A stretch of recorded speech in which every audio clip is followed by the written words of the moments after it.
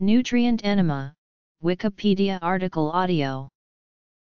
A nutrient enema, also known as feeding per rectum, rectal alimentation, or rectal feeding, is an enema administered with the intent of providing nutrition when normal eating is not possible.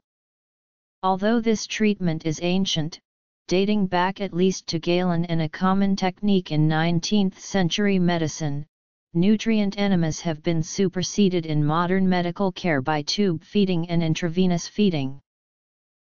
A variety of different mixes have been used for nutrient enemas throughout history. A paper published in Nature in 1926 stated that because the rectum and lower digestive tract lack digestive enzymes, it is likely that only the end products of normal digestion such as sugars, amino acids, salt and alcohol, will be absorbed. This treatment was given to U.S. President James A. Garfield after his shooting in 1881, and is asserted to have prolonged his life.